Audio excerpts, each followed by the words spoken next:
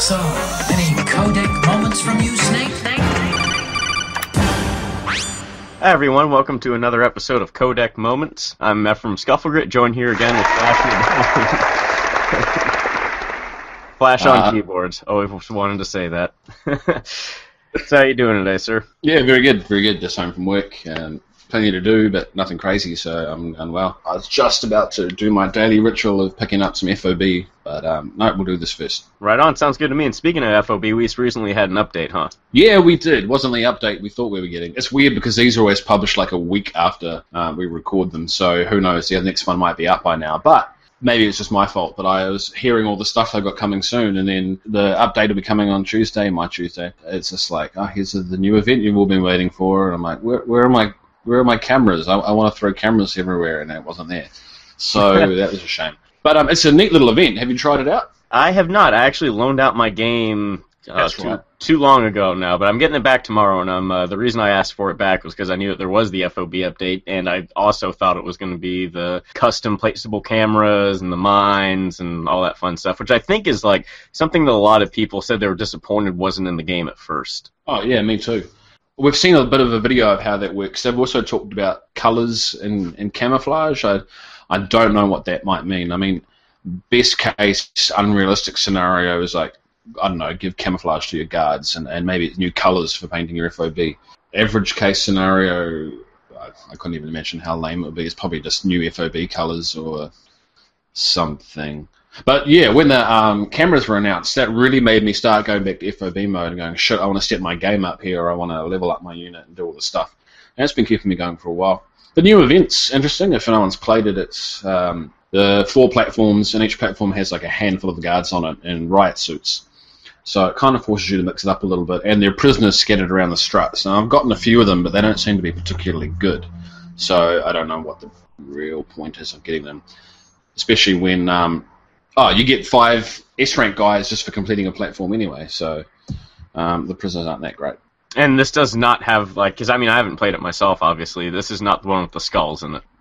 No, I thought it would be. Like, the event's called Bound Dragons, and I went onto the first strut and it was fucking empty, and I'm like, oh god, it's happening, it's happening, it's happening, it's happening, and then uh, nothing happened. Yeah, I mean, uh, it's interesting to me that like they're really like, I mean, the game came out September first, and like now there's all these like big, huge things coming to the FOB update. Do you think that these were plans from the beginning to kind of like do it staggered like this, or maybe this was stuff that like didn't quite make it for release day that they were kind of like planning on putting in there? I'd say a bit of column A, a bit of column B.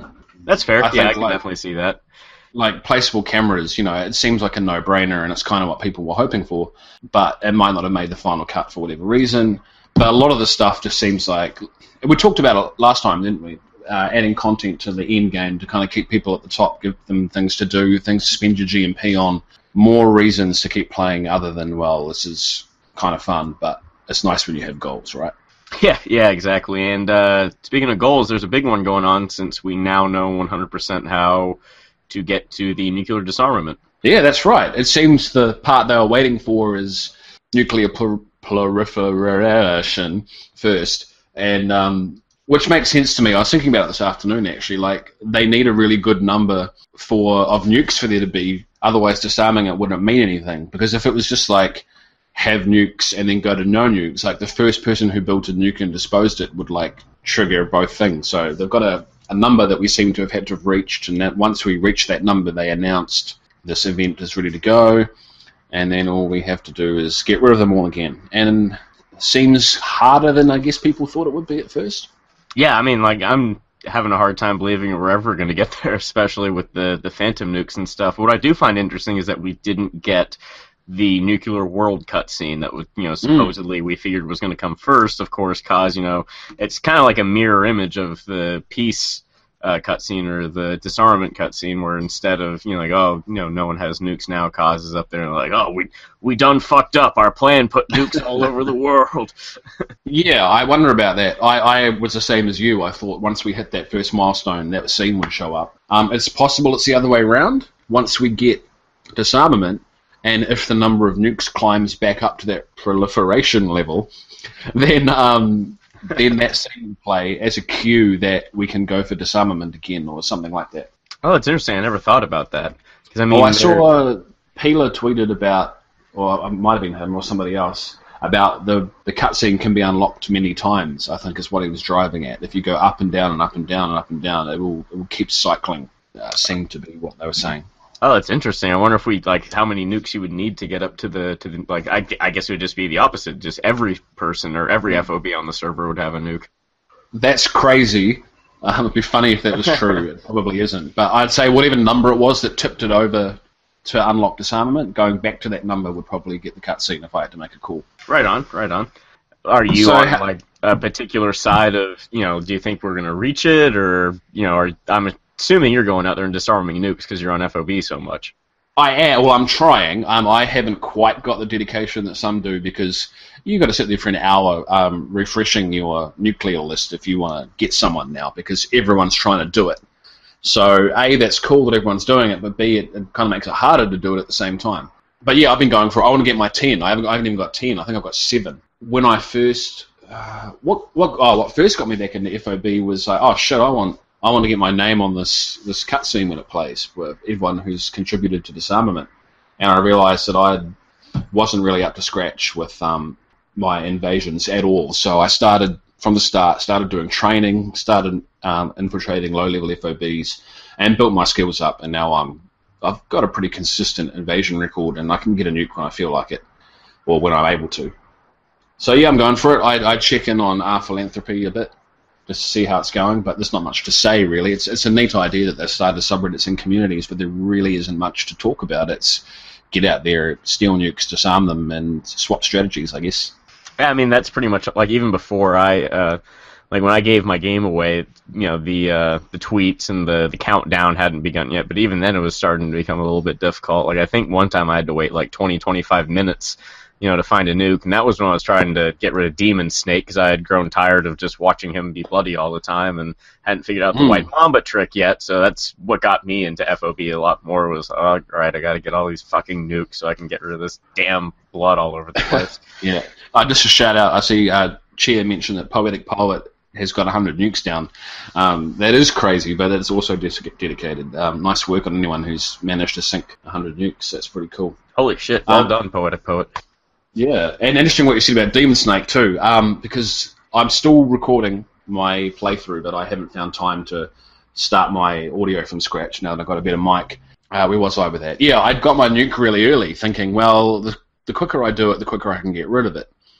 And sorry, my nuke, my Demon Snake, but I didn't even get to Demon Snake. I just got the long horn, and I've Oh, wow. just noticed. I just noticed uh, a few nights ago that the horn's gone back to normal. So in my playthrough, there's going to be a, a switch of Snake just randomly shrinking his horn in between like um, part one and part two or something like that. So yeah, I'm back to normal Snake, which is kind of cool. Right on. Yeah, when I uh, when I went to the Longhorn Snake, like I was just gearing up to do my nuke too, because I was reaching the end of uh, the S ranks and the objectives, and I Oh, kind of let myself get sloppy a little bit, and then You did. You're, you're a demon, Scuff. You're a demon. happens to the best of us. No, it doesn't. It didn't happen to me, and I am the best of us. Um, I know, so I never grinded for it, which is kind of nice. And one thing it did is kept me on my toes when I was screwing around a bit. Like I've had a lot of fun just messing around and being a dick. But even then, knowing that I wanted to get rid of my horn kind of kept me a, a little aware of what I was doing and maybe not going for every single kill that I had to, which which was interesting. yeah, I remember you asking me. Uh, I think like right after we played Phantom Pain was like, was there a moment where you just kind of like threw caution to the wind? And just kind of started killing people left and right, which surprises me that you never actually reached Demon Snake, like after reaching that point and building your nuke. Yeah, I suppose so. Ugh, yeah, tough call. I guess I was still getting a lot of heroism for doing general stuff, you know, getting all the animals and doing all that. And you really don't get punished a lot just for killing people. Like, even though I was murdering, I still doing a pretty stealthy run where I could. Just nice clean headshots or chokeouts or whatever, but just not being afraid to kill someone I had to, which is different from just like going mental and just burning everybody down every time I saw someone, I suppose. Yeah, right on, right on. Yeah.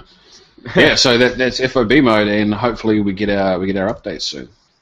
And speaking of news and all that fun stuff going on with Metal Gear, the uh, the Game Awards happened. The Game Awards happened. Um, I wasn't really paying attention. Like I saw lots of we'll call it general insanity about oh, it's happening, and Kiefer Sutherland will be there, and they're going to tell us about everything. And I, I wasn't really that interested, but I thought I'd pay attention. In the end, it was you guys in the chat room were basically narrating what was going on, and um, I couldn't quite believe some of it when I was reading it, so I had to go and check it out when I got home. Um, that was an interesting evening, wasn't it? Yeah, to say the least. I mean, I wasn't really expecting any, you know, like big reveal. You know, Kojima comes marching out on stage, carried by goddesses. You know, and flames go up all over the place, and he announces chapter three. I yeah, Yeah. Uh, yeah, I wasn't expecting any big reveal like that. I was, you know, really interested to see, you know, what Phantom Pain would take home, and you know, when the big moment Hmm. came up, like I think the big surprise was, you know, after Kiefer Sutherland's amazing acceptance speech, that Kojima wasn't there. Well, yeah, or he was, and wasn't allowed to wasn't allowed to go and collect his award, which is, well, there's nothing to be said anymore about that. It's really, really disappointing. Yeah, Oh yeah, sorry. Um, someone's calling me out for saying I thought there was a ruse going on. I did. um, when I watched the video and the Jeff going, "Well, Kojima can't be here," I'm like, "Oh, that's BS." Like nobody in their right mind would actually send a lawyer and tell Hideo Kojima he couldn't collect an award. So I'm like, "Oh yeah, there'll be something coming later on." Blah blah blah blah blah. But nah, that was it. As soon as I heard him, next, next sentence, I was like, you could hear the dejection in his voice, and I was like, "Oh my god, this is real." this is actually and like I've always been on like kind of the side of caution about like oh you know I don't know everything about every situation you know like maybe Konami has some kind of you know like point here but like with this I was just like I was surprised like what really that's so disappointing Yeah, I mean, well, you know, both of us is over the what years. There's been a lot of shit being flung around, and the vast majority of it really has just been speculation. People going, "Oh, well, Konami doing this and doing that," and they take Kojima's name off because they're being mean-spirited and all this other stuff. And I'm like, that's that's a weird conclusion to draw unless you're a standard video game drama junkie. But I mean, this what happened here. This is straight up and down bullshit. It's just um, terrible, terrible behavior, and there's no real excuse for it. I, to me it was definitely the final nail in the coffin that Kojima probably wasn't staying at Konami yeah. I think that the worst part is it's such a poor judge of character. Like, Kojima has never been outspoken against Konami. He, he could have done anything for a really long amount of time. He could have said all sorts of stuff, even slyly, but he's always been a real pro about it. And to think that, oh, you can't go on stage because who knows why, they're worried about what he might say or, or anything like that, it's just such a terrible judge of character and such a confusing decision you know, there's just zero plus side to doing that. So whatever, Konami. Fuck Konami. Hashtag fuck Konami. oh my god he said it Uh, it's down. But uh, speaking of how he usually acts, did you see the tweet that he retweeted that uh, that Young tweeted at him? I did. That was pretty cool. That that was glorious. For those that didn't see it, you know, Young pretty much said it was bullshit or d horse shit that Kojima couldn't go, and that was like an immediate retweet. And like when I saw that, I was like, all right, so yeah, that that definitely happened. He's not happy about it. Yeah, yeah, pretty much. Um, it's such a shame, but you know, it, it also adds longevity to the Metal Gear experience. You know, there will come a time in the future when maybe he's able to talk a bit more about what this has been like making the game, working with Konami, and uh, even without having to be vindictive about it. You know, there's something to look forward to in future years. Obviously, he'll have more output. He's this isn't a guy who's going to stop making games, so um, the tr- truth will out, I suppose. I think yeah, whatever studio he ends up at, like I I imagine, especially if he's at a studio that gives him a lot of freedom, and then he winds up you know working on another AAA game in the interviews leading up to it, like it's got to come out like oh like you you have more freedom here, like you know like how's this compared to working with Konami, yada yada yada. He doesn't speak officially a lot, but he's got a whole bunch of old blog posts talking about his, you know, creative process of lifestyle, how all these things work. There's interviews with him and other people who talk about what it's like working there. And the funny thing is, everything that's been published to date is uh, glowing praise for the creative environment that he's been working in. You, um, there's a couple of posts I like to link.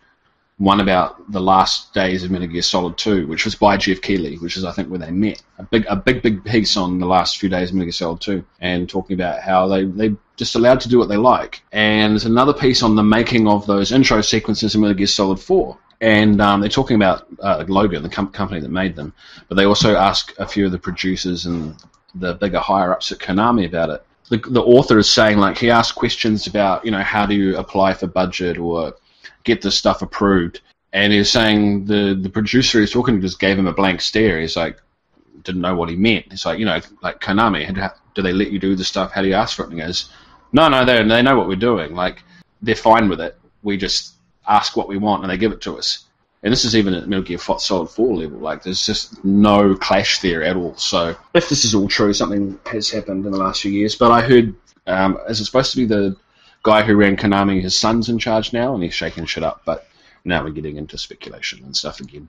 Exactly. The only thing I can really, you know, speculate for myself or just assume, which you know I know sounds bad, just even starting off, just assuming something like obviously some kind of like political climate change there, or you know, under new management. Like obviously there's a restructuring going on, so that's going to change a hell of a lot of things, and so on and so forth. I mean, it, it, that's not hard to assume. Like Konami obviously have changed direction. They're a company who wants to do whatever they think they're doing to keep up with the times, and we all know the whole mobile pachinko stuff that goes around. But yeah, they change direction, and it's just I guess a clash with an older style of doing it, and that's the way things are. But I'm sure we will see new games from Kojima in the future. Speaking of new games and stuff, uh, we know that Konami is going to go ahead and press forward with Metal Gear Solid without Kojima. I know we've talked a little bit about that before, and you know, obviously we're going to buy it. That's, I mean, that's a far foregone conclusion. How much would you look forward to it? Oh, that's such a hard question. I guess um, it, we'd kind of have to know what's coming. Yeah, I mean, I was blown away when Metal Gear Solid Five was announced. Like you have no idea. Like I was quite happy, at peace, at terms with the fact that Metal Gear Solid had finished, and that's even after the bonus prize of Peace Walker. So Absolutely. to hear about this, hear about this Metal Gear Solid Five was a real shock to me. After that, Phantom, they talked about Ground Zeroes, and then the first Phantom Pain trailer, where I think most of us kind of knew what it was. That was crazy. I had to totally recalibrate everything because I thought I was done with Metal Gear Solid, well, done with new Metal Gear Solid. So I'm kind of at that point again, but it's a bit more definite knowing that the next one is not going to be a Hideo Kojima game. I mean, I play Metal Gear Solid because it's Kojima more than anything. Like, yeah, it's got a cool story and cool characters, and it's got all that fluff around the background, and lots of people just love shit because of lore. That's never really been me. I play it because I'm going to get something made by Hideo Kojima, and he's going to do whatever he goddamn wants to mess with you and to show people what games are capable of still. So when I hear new Metal Gear Solid but no Hideo Kojima, I immediately start thinking about Assassin's Creed, and we've had this conversation before. Many times. I mean, especially since they have the the Fox engine already put together and stuff. Now they really do have the option to make it an annual release if they really wanted to. Like I don't know if they have the the kind of. Uh, not even annual release. Even if you don't talk about annual releases, um, just the idea of taking, you know, oh, this has got a Metal Gear Solid story and stealth and, and these mechanics and stuff, but that heart and soul behind it that's constantly there trying to kick walls down and, and make a game that operates as a game before anything else, not some fucking B grade character drama stapled onto the side of a stealth game. It's always been so much more than that. So without Kojima, I really have to question what it's going to be. But we know nothing. Hey, maybe they just want to throw together a new team and find a visionary director who will do his own thing with it and who will also toe the line when it comes to production. Who knows? So I would prefer that they found someone like with a completely different voice. In the same way that Platinum did their very own take on Metal Gear Solid, that was far more interesting than having someone try to ape Metal Gear Solid or design it by committee or whatever. That's a really good point too. Like I, uh, I avoided Metal Gear Rising for the longest time, pretty much just because you know I had the idea like it's not Metal Gear Solid, it's not part of the real story, yeah. And then you know when I finally picked it up, I kind of got over like it's not my favorite. Uh, I didn't like it as much as I hoped I would, but I was still like my expectations were still you know kind of broken a little bit. It's I have a weird relationship with Metal Gear Rising, obviously. Yeah, well, I mean, I it's going to seem like a weird thing to say. I mean, I don't consider it a Metal Gear Solid game, but I guess the more accurate way would be to put it is it's not in my little box of Hideo Kojima games. Sure, it shares a lot of Metal Gear Solid stuff, and it has characters and references, and it it does some similar things, but really, it goes in my box of Platinum games. It, like I ranted about Vanquish a while ago, or even Bayonetta. They just do this awesome thing, and this happens to have a Metal Gear Solid skin on it and borrow some ideas about what they're trying to talk about. So hey, that's cool. It's its own thing. What I would hope a new Metal Gear Solid Six or whatever the hell they do, Or my personal favorite would be Metal Gear colon Solid, just to mess with everybody trying to talk about the games in the future. I hope it's it's its own thing, very much its own thing. Possibly only tangentially connected by universe or whatever, but there's a lot of places to go. That's fair. That's fair. I mean, I'm assuming you're still going to buy it though. Yeah, of course I am. I'm going to give it a shot. And speaking I'll, I'll of, give it a uh, shot. Even if it looks shit, even if it looks absolutely atrocious, like even if it looks like Transformers 4 of Metal Gear Solid, I will um, pick it up and give it a fair shake. But um, I will give it one go. I I hope it's either ex- like, especially leading up to it, either look extremely polished and the story's great and it's got you know some really artistic draw to it, or it's completely just so shit. Like I, I either want either either end of the spectrum. I don't want anything in between because if it's complete and utter shit, we'll get so much fun out of discussing it. That's very true. If we get the um, Star Wars Episode 2 equivalent of Metal Gear Solid, then um, that could really be something. It'd be entertaining. That's really what I'm hoping for when I spend sixty dollars is entertain me, and that would definitely fill that void. Yeah. The thing is, you're going to know straight away when they start releasing trailers. Like, perfect example here is um, you remember that, that Konami released trailer about Metal Gear Solid 5? Oh right, yeah, yeah, yeah, yeah. Like at, at the uh, at the E3, it was just awful. Yeah, and you can tell straight away that it's someone going, oh, how do we market Metal Gear Solid? You go, oh, here's what you do, and they drew up a checklist and they put, yeah, it was Gamescom. Thanks, Jimmo. Um, what you do is you have characters narrating over the top, and you have action shots, and you have this and that and the other thing, and it just came out looking like balls. It was like uh, Michael Bay directed a Metal Gear Solid trailer. No, I disagree. Michael Bay is visually interesting. This trailer was crap. um, you hated it that much. Oh, I'm trying to think of who it would be, but I can't can't think of anyone bland enough lately.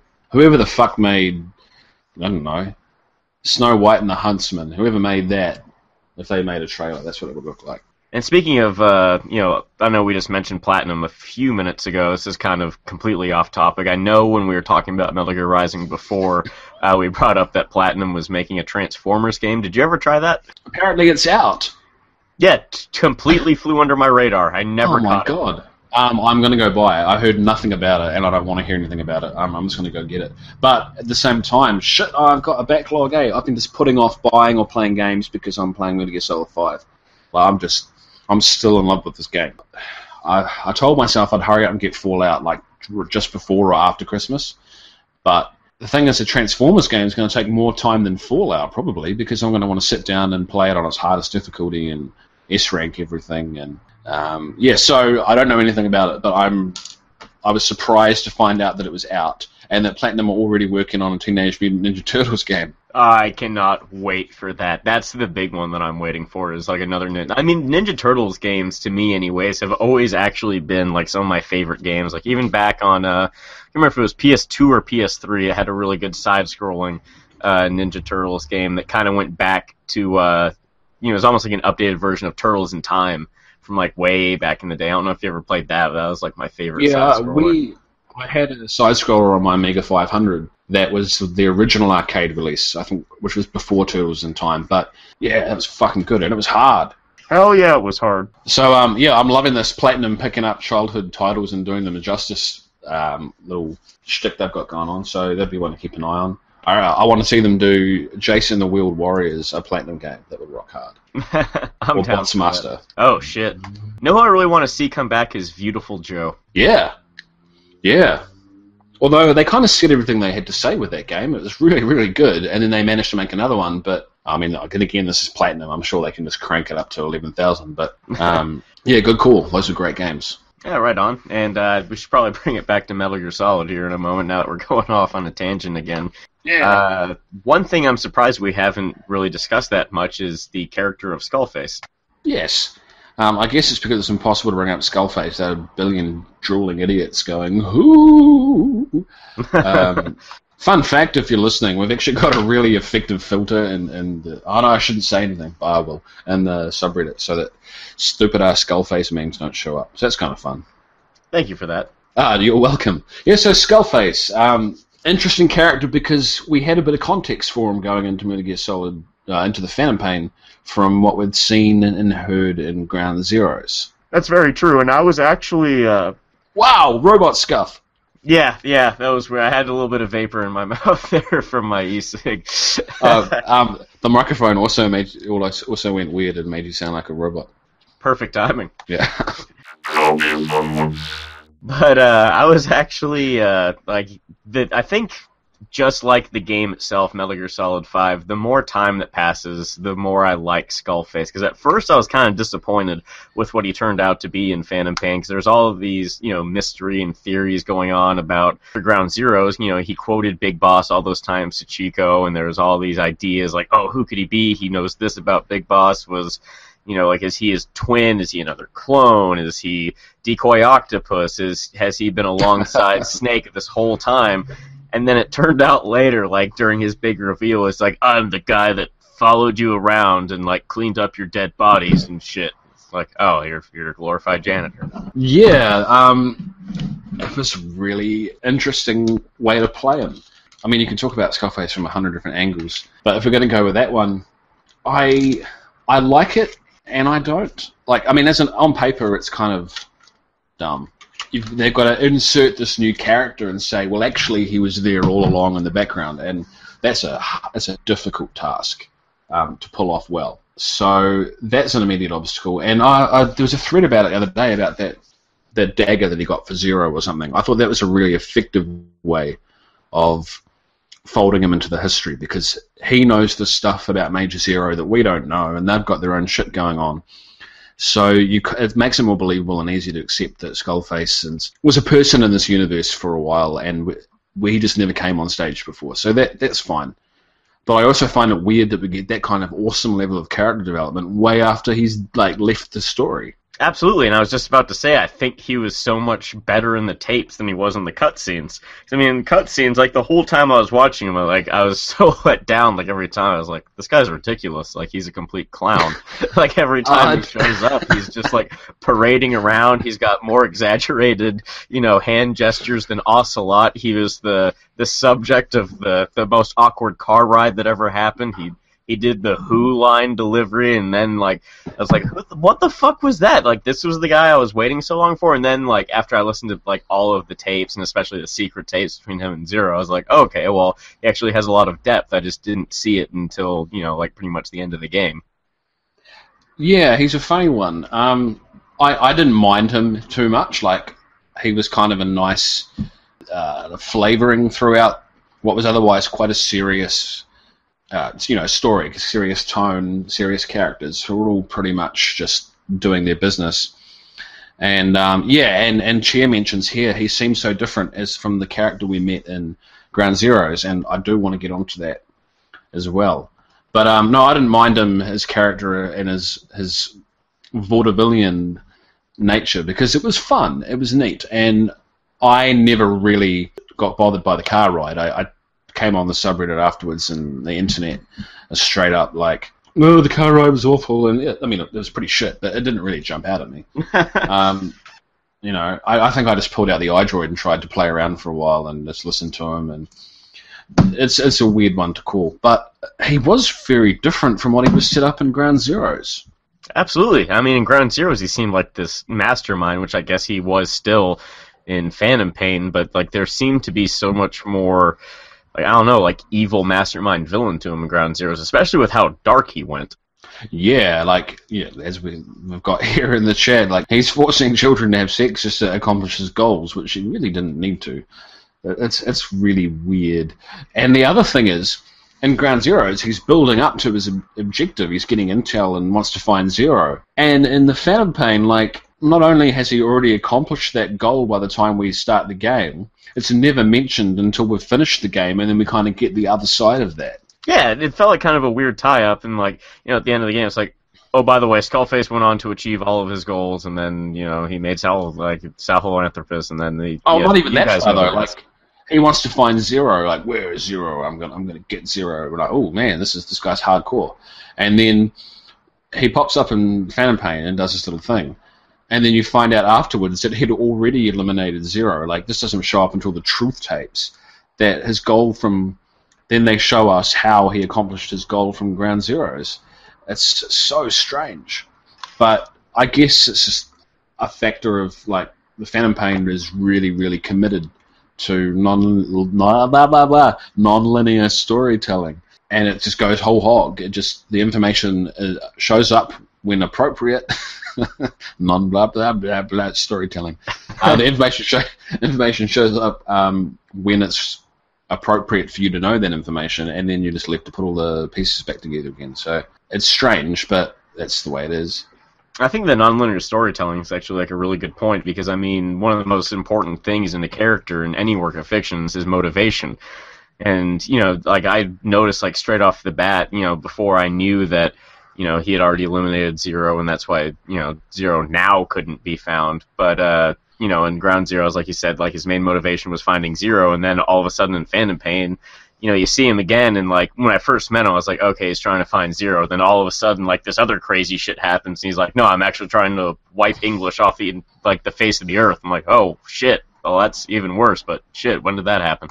Yeah, and the other weird thing about that is that we already knew his plan from the trailers, but the game tries to give you a fake out for a moment. Like when you rescue Skullface, like Kaz butts in, sorry, Kaz butts in, he's like, oh my god, boss, he wants to wipe out every language except for English. But if you've seen the trailer, you already go, no, shut up, Kaz. That's not what's happening. Um, Yeah. Yeah. Oh, that was really weird.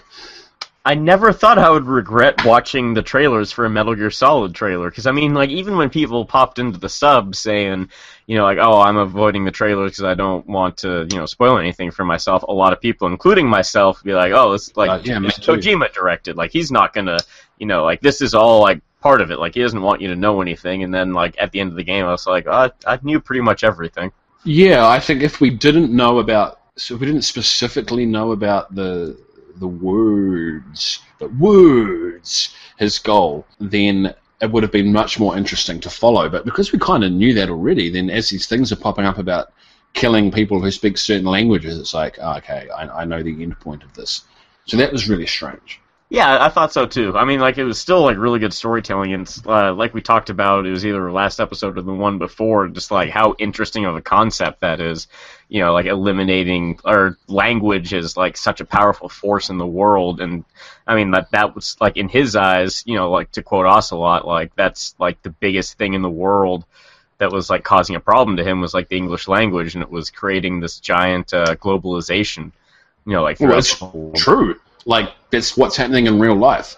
Absolutely. Um, and I think that is one of the best parts of the game. Is this is like the sci-fi video game, you know, equivalent of Noam Chomsky. Like this is heading going for the big stuff. This is really getting down to the nitty gritty of the problems and what's causing issues in like global society, and that is Western cultural imperialism. Absolutely, one hundred percent. I mean, like even when I was taking my classes at school, like there was all these like I had to take a class about like international business and being like, yo, like this is becoming like a huge problem. Like here's how you should conduct yourself and like yada yada yada and like this how far like the because I mean English is the language of business.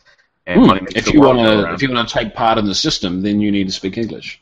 yeah, and- exactly. and that changes the way you think. Um, as as Skullface kind of starts to touch on, you know, changing your language will change the way you think. You can no longer express certain concepts, you know, however subtly we're talking about it. The language you speak and the words you speak change the way you think because how can you think of an idea if you haven't got a word for it?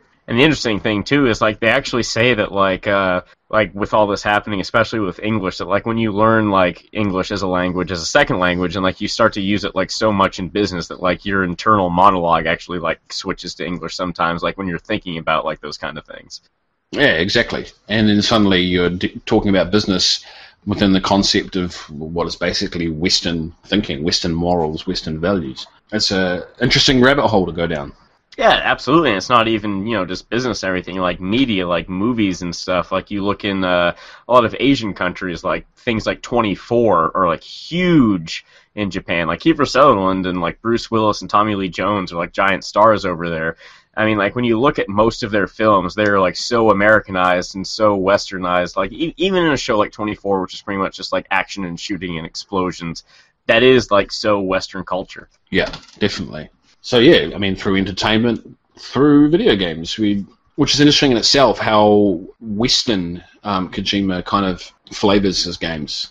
Even though he, I would not knowing too much about it, I would say he has a pretty Japanese voice culturally. Um, the way he deals with stuff and you know character design and all that kind of thing. He still really has a Western flavour to what he's doing, which is interesting in itself as well. He's he's much more interested in that side of things. I remember when I was talking to when I was at my last job, my assistant manager about Metal Gear Solid, and he was like, "Oh, I've never been a fan of that series," and like we are kind of going back and forth, and he finally said, "He's like, oh, it's a Japanese take on a Western movie, James Bond." I opened my mouth to retaliate. I was like, ah. Oh yeah, shit. Yeah, it is. Yeah, that's true. I, I don't see how anyone could ever consider that a bad thing, though. I mean, that's fucking amazing.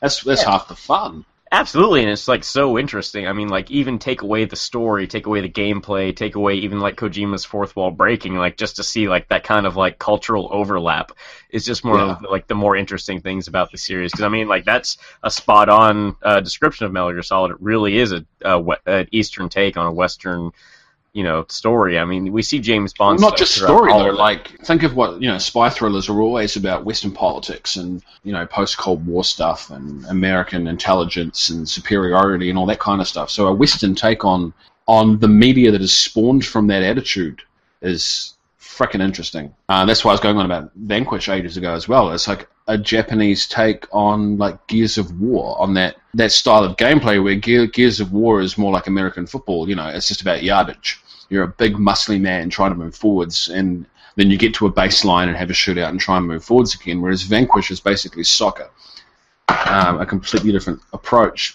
but translated through firefights. Um, I love that kind of thing uh, seeing a different cultural take on what is otherwise a different culture's touchstones. So yeah, it's always been a lot of fun. Absolutely, and I think like the interesting part about that is is like that's totally the kind of thing that I think made Skullface worry.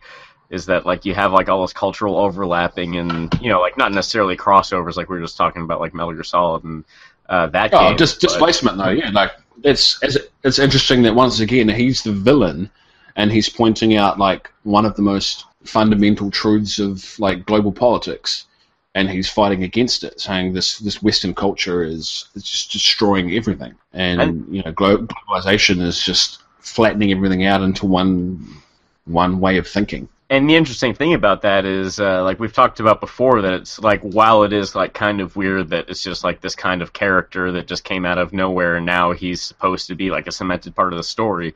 Uh, he claims to be working towards what he envisions the boss's will to be, which at first, like I, I didn't, I'm not going to say take offense because that's you know, a little bit dramatic, like I did find it kind of weird. I was like, what this guy that just like came out of nowhere and just screamed who? Like he's another guy that you know claims to know what the boss wanted. But I mean, would globalization, like the spread of the English language, not be like a kind of unified world that like you know the boss is looking exactly? For? I mean, that's, that's Zero's goal, isn't it? Like Zero wants to spread Western culture across the whole planet. Like that's that's the that's what the Patriots are doing because once you have that singular culture, then you're eliminating a lot of sources of conflict. That's exactly what's going on. Zero's goal, and he even talks about it in one of his tapes, and how he dismisses this parasite thing and goes, "Well, we're not we're not going to kill people. We're going to we're going to make them want to do it. We're going to make everybody want to become part of this global English." Society where everybody's culturally the same. You know, by motivating them. You know, it doesn't. You can't force people into this stuff. Uh, you know, Raiden was only a good test subject because he wanted to be Solid Snake. There's a difference from forcing someone to be Solid Snake. You know, if we look at that as a, a test case later on. So yeah, you know, you did right. Um, that is Zero's interpretation of the boss as well. Like one culture, no borders. And it is like it's really like I think that's like the thing I take home from Metal Gear Solid. You know, not like the main message or anything, but there was one goal they're all working towards, and it was the boss's goal of like a unified world. But that's really all that she left them was that she envisioned a unified world, and like just so many different interpretations of you know what that could mean or what paths to take to get there. That's really I think my favorite part of the series, honestly, to tell you the truth, is like out of all of Metal Gear Solid, the most interesting thing to me is that you know everyone really is working towards this one singular goal. But you know, there's so many different roads to take there. You know, which one is truly like the best one, or what would you say is like the hero's path to that? Yeah, especially well, she does articulate it a tiny bit. Like she talks specifically about there being no borders, and Zero kind of seems to see that as drawing, well, one border really, a border around the whole world and saying everybody is in here and we're going to force everyone into this box. Whereas Big Boss sees no borders in a really different way and doesn't really see it as no conflict, but rather no bullshit. Ah, it's, it's really hard to get into his stuff, but yeah, I'm not going to go too far off. Damn it, I had something I was going to say. Zero again. I forgot it. I think Big Boss is probably like the hardest egg to crack out of all that because like it's hardest to wrap your mind around like what his motives toward like a unified world are because he pretty much just runs an army of mercenaries. Well, I think his unified world kind of disappeared. Like his his goal changed to fighting Zero in a huge way. But oh, that's what I was going to say because if you look at Operation Snake Eater, the boss's goal was to bring the legacy back to the American philosophers so that one side would win and then end the conflict. So if you look at that from the perspective of Metal Gear Solid V, where it's the same deal, like let's just cover the whole world in English, Western culture, so that we haven't got the shit going on anymore. That's actually incredibly similar to what the bosses, or to why the boss took a suicide mission. I think that's like it's. Uh, I've always wrestled with that one kind of myself. Like, did she really like want the Americans to have you know the legacy? Like, was that truly what she wanted, like in her heart, or seems like was it. that just her mission and she was loyal to the mission? Going from context, I think she actually wanted to she she believed in the mission as well, and the mission being to take on this mission that would end all the conflict, that would finally put one side uh, at the win and shut down the other sides. Which, in in the long game, I guess it kind of happened. But in that sense, you're saying, well, okay, then the, whatever it is the American philosophers stand for is now going to dominate the world. That's true, but I mean, like it could also be spun that she felt that the Americans the, the American philosophers would have, you know, like maybe the most pious intentions or, you know, have the best, you know, result of reaching a unified world. Because, I mean, like, a unified world was like, that's all that we really know is that 100% like that was her final goal. Is like when she saw space she saw the world without conflict without borders. You know she just saw yeah. one whole thing. Well no artificial borders hey no social borders no lines on a map. Right. Um, yeah no arbitrary distinctions between people, and I think that's kind of a little bit where Zero's vision goes a bit crazy.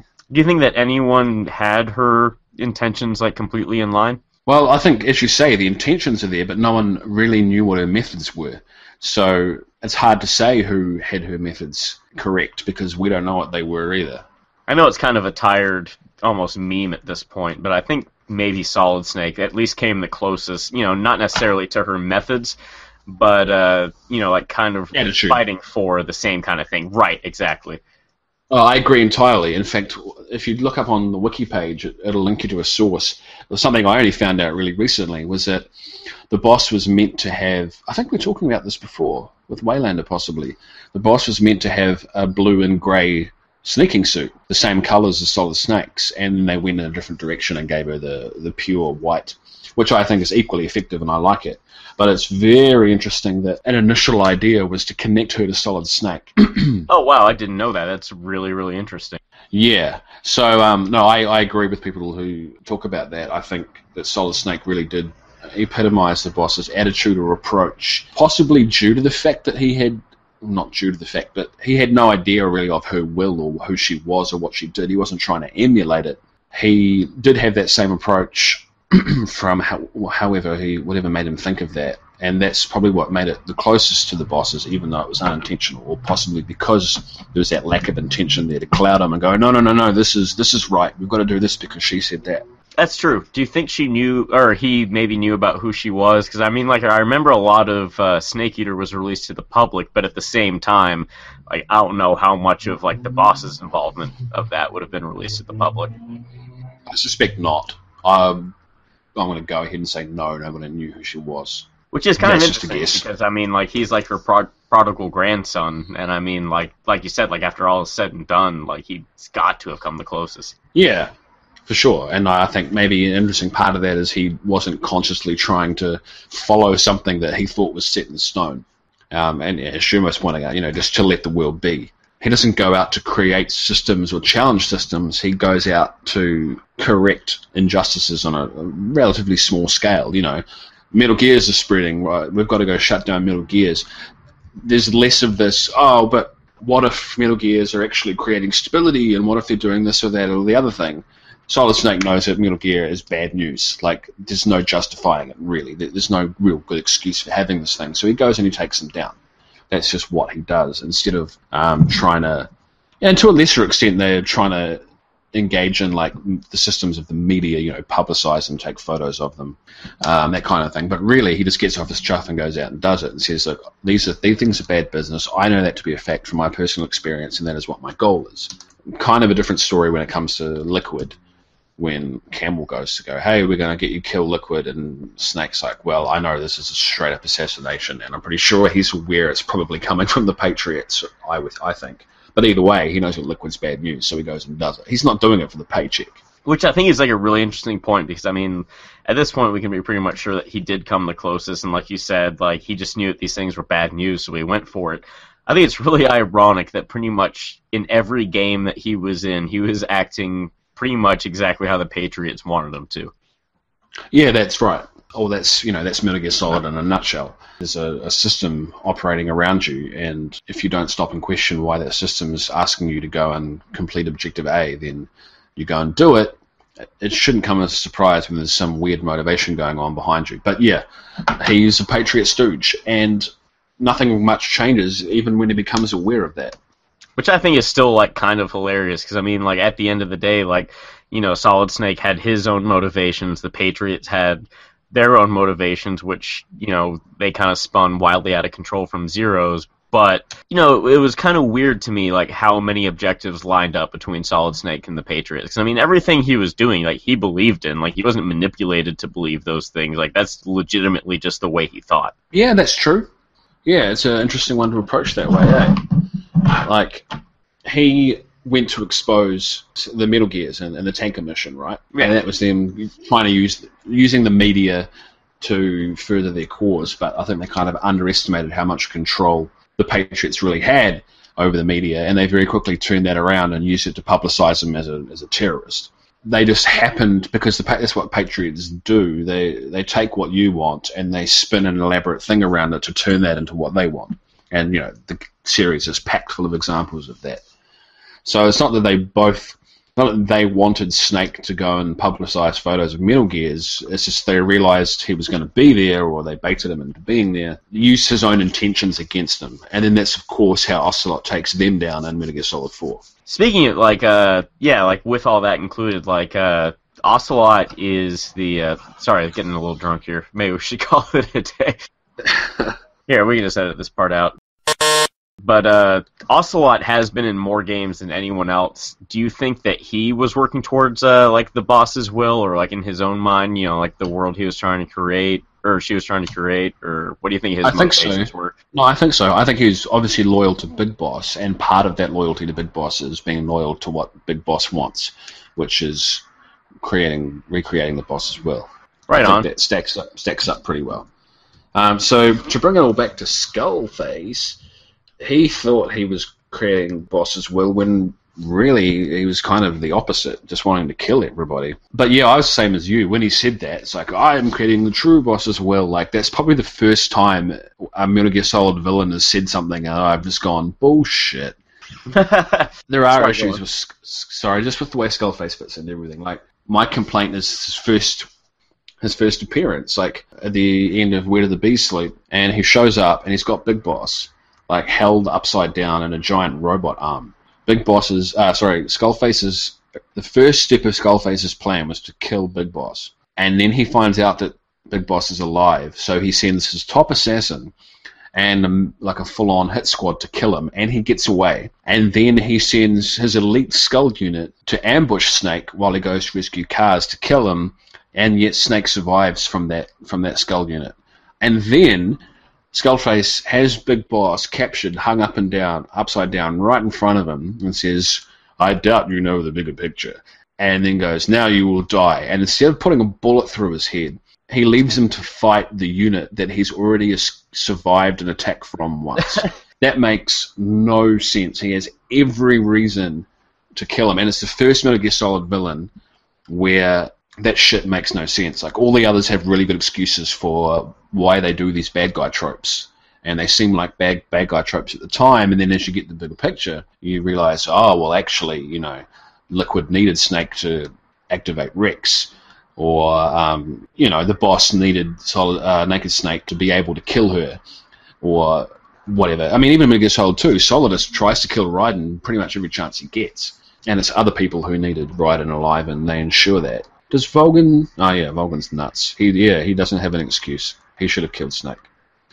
ah, but he, he did need to reverse interrogate him. Yeah, Skull, Skullface had no reason to let Snake live, and instead he self-aware, like Metal Gear Solid self-aware, says, "Oh well, I guess you just never see the bigger picture, and you sit there and going, ah, so the reason I'm being left alive, there's a bigger picture going on here, and there is none." So I thought that was a really odd introduction for a character who was so fucking cool in Ground Zeroes. I was just about to say, like he's like he suffered from like all these like James Bond like classic tropes. I mean, like even without like the Sahelanthropus thing where he was like leaving him there hanging, like going back to like House of the Devil, where uh, he sees Big Boss there and like he has his you know little twin barreled gun like pointed right at him. He's like, "Oh, it's you." I'm gonna set fire to this building and leave. You'll surely die here.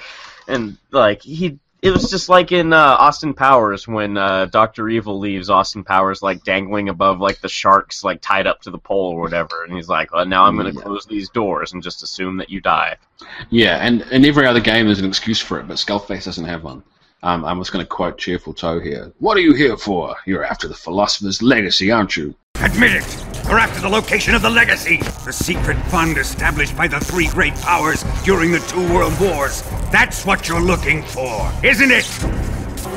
$100 billion! Divided up and hidden all over the world. And you're looking for a record of where all that money is hidden, right? No matter. The Philosopher's legacy is safely in my possession. In the underground vault of Groznygrad. You're going to found a private army in ten years after killing the boss in an attempt to fulfill her will, aren't you? What is the Philosopher's legacy? Well, let me explain. It's exactly how that reverse interrogation goes.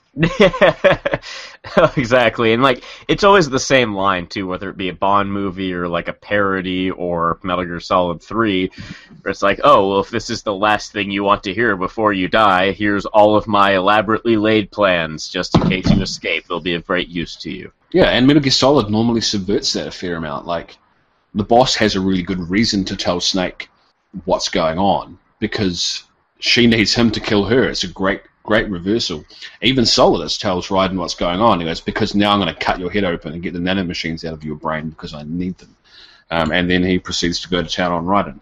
The, the games have always ducked around those tropes and, and have them make sense, I guess but this one it just falls down in such a strange, sad way, which is a shame because I like Skullface as a character, and like you say, um, when you've got the whole yeah, by the way, I kept your parents because you've got the whole um, what was I going to say? The non-linear storytelling. You learn the big picture, and it's amazing. But as you're progressing through it, it, it falls quite flat.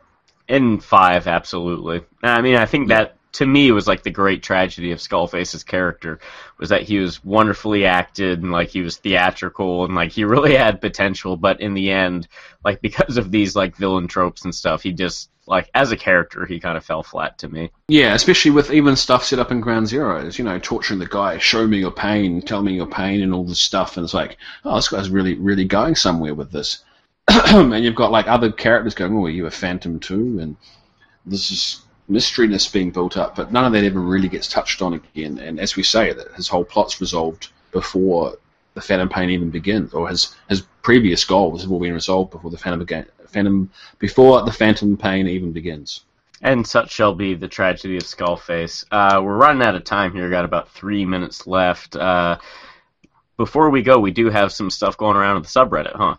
Oh yeah, yeah, yeah. So um, if- I guess it'll all be announced by now. But uh, by the time you hear this, listeners, I mean, not you, Scuff. I know I'm in New Zealand, but data travels pretty pretty quickly. Um, so we've got the mod elections on, as you may have heard.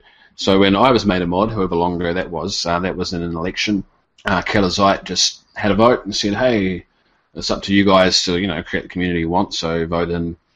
Nominate and vote, and I was lucky enough to get in, along with a couple of others. And then, since then, I think we've brought Waylander on once, just for pure um, last minute shit. We need a little bit extra resources here when the game came out. and now we're at it again. We're, I think that there's more posters and more submitters, and there's a little bit of inconsistency in, in removing basically the crap. You know, people who post pictures of staff and look at this glitch I found, or I made a, I've changed a bird for a dog, or that kind of stuff. Just the, the real low effort stuff that no one really needs to see. Um, we want some more consistency on there, as well as starting to build the community back up to how it was before. A lot more, you know, good discussion, which is starting to pop up again on its own, which is a great thing. But it's just making room for it, making a good space for it is really the plan. So um, keep an eye out. Probably we'll probably announce the winners tomorrow, which will could be about a few days ago after you've heard this. So that's what we're going for. Right on. And uh, you know, having been a person that's been here for a while, uh, I really do think that it is like like you said, starting like discussion starting to pop up uh, a little bit more again, which is awesome and uh, really like a sense of the community has always been my favorite part about uh, the subreddit like even through you know like the release has you know kind of skewed things a little bit but even you know leading up to release like you recognize so many names you get to know like so many people and i remember you know like back in the day you saying that we are probably like the most unreddity subreddit but we just kind of used the platform. Like uh, that definitely always like kind of hit home to me. Like this community community's like always been great, and you know, I hope that yeah, and is what you're trying to move back towards. For sure, and it's always had some decent standards too. Um, I know a common complaint is that oh, I'm going to get solid hates theories and they bash theories. It's like no, they don't. They bash shit theories. They they bash people making up crap and just talking about nothing. I mean, if you want to talk about fluff, there's plenty of places to do it, but people who come from other subreddits and from like gaming and go, oh, theory, series, series, tend to take it really personally and take it the wrong way when people go, well, this is this isn't a theory. You just come up with an idea. Like, there's no need to get on the defensive when someone just pokes a million holes in your thing and you go, well, oh, it's just a theory. Like, you know, let's, let's raise the quality of, of our critical discussion here because it used to be really good. And there's no reason I see no reason to sit back and go, oh, you know what, just talk about stupid stuff because everybody else does it. So, blah blah blah. Yeah. So there's no reason we can't have a really good critical discourse, and there's no reason we can't have a bunch of fun, stupid, jokey topics that we used to without people getting the wrong idea. Right on. Glad to hear it. Yeah, so that's my take. Obviously, it's only me, and the whole mod team will all have input on that, and the community will have input on that. I just saw a post. What if Huey dot dot dot is Hal? like he used parasites to fix his spine and keep himself young, and he's secretly bad all along. You see, I don't. We're not going to remove that. Like, there's no reason a post like that should be removed, but I would like to get back to cultivating an atmosphere where people don't see the need to make a post like that. And I think like my comment to like most of those like types of theories, like what if Hal is Ocelot, like my usual defense, like stuff like that is, and like what can strike down like a lot of these, I'm just gonna say it, like stupid theories, is that like if something like that was that important, and I mean like Kojima was going into this knowing like regard, like he probably didn't know he was going to be leaving the company, or like you know he thought he was going to be leaving under different circumstances. This was going to be the last game if something was like as titanically important as that, oh, Otacon is actually Hal, by the way, like that's probably maybe going to get mentioned somewhere in the narrative at some point. Yeah, I mean, and that's the difference between you know a theory and an idea. Like anyone can have an idea, but you don't see me going on Reddit and posting every idea I have, because otherwise I'd get arrested. But um, yeah, yeah. So um, there is, there's, you can lift the state of discourse back to where it was, and um, everyone can get in on that because you do get to have there are plenty of places for dumb, fun discussions, but um, you know, flooding the front page is, is maybe possibly not that place. right on. All right, looking forward to it, man. I think we're about running out of time here, so we'll call it a night here. Yep, sounds good to me. Right on, man. Always a pleasure. Cool. Later on, mate.